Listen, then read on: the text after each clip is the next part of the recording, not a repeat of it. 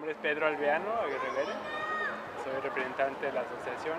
Este, desde el 21 de marzo inició, son 11 domingos, 11 ediciones, el día de hoy, cada 15 días, sin interrupción.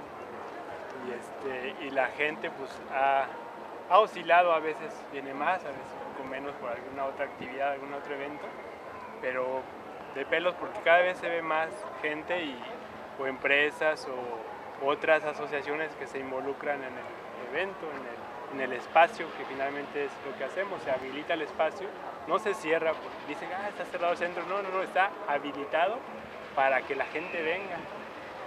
Vehículos aparte, vehículos por las demás calles, pero en la avenida, caminando, en andadera, silla de ruedas, las bicis, patines, etc.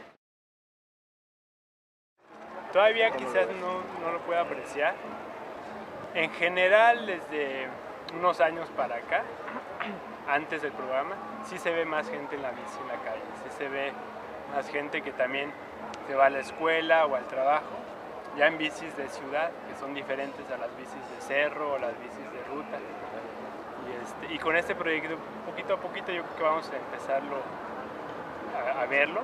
Y ahorita este, lo interesante es que ya van arreglando sus bicis, que las tenían arrumbadas, ya le cambian la cadena, la arreglan los frenos, las inflan, las cambian las cámaras, porque sí, muchas veces la bici era como casi prohibido andar por el miedo que luego uno tiene. Y aquí pues sí, aquí sí no hay nada de eso.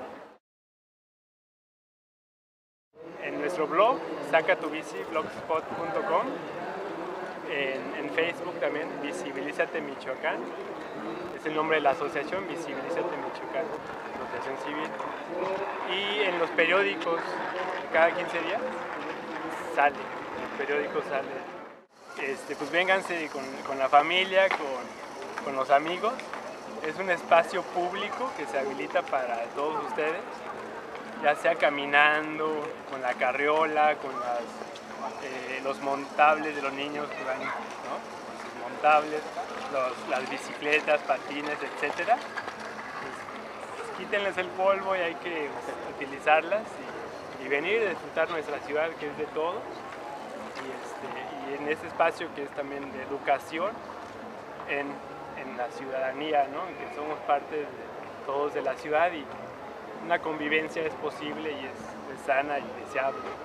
Entonces, pues vengan, saquen su bici y, y pues aquí los esperamos.